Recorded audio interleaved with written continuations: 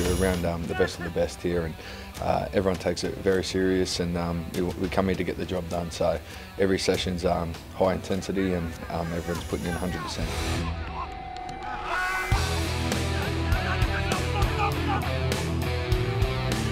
For me personally, um, you know, if you get to pull on the Australian jersey, you want to be giving it your all and give 100%. So, um, you know, I think that in itself is shows that you know there won't be any complacency at all because um, you know it's you know it's not a right to wear this jersey. You have to earn it and respect it when you do get it. So, um, you know, no one's going to be wanting to get it and um, you know turn up with the wrong attitude.